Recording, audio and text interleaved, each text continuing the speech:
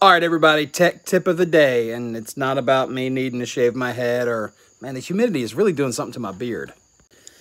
No, today's tech tip is about backspacing. And backspacing is in relation to the hub and the outer edge of the rim.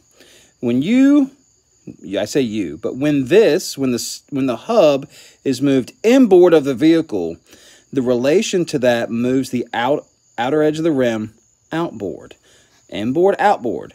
Inboard, outboard. In this case, these sweet looking Mustang wheels, well, they don't work. They're hitting the suspension. They're hitting the leaf springs. They're hitting all kinds of stuff. I don't have enough, I don't have enough back spacing. So we might be trading, but I'm sure I'll figure something out.